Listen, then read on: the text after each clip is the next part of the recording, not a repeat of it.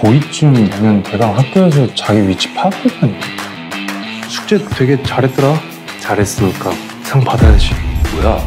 뭘 그렇게 잘한 거야? 너 내 밑에서 일해라. 기술 전수는 내가 공짜로 해줄 테니까 가서 내 돈 수거해 와.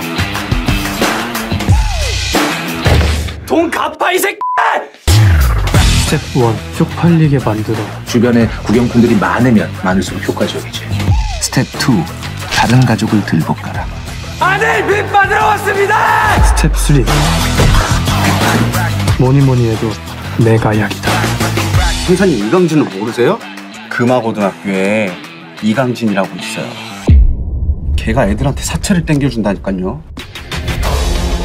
이강진이 이제 골드클럽까지 왔다. 한 번에 올라가는 거야.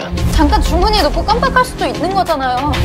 아, 깜빡하셨구나. 이제 학교 갈 수 있겠다. 학업에 지친 학생들의 마음을 사랑으로 채워주는 사채. 아름답지 않냐?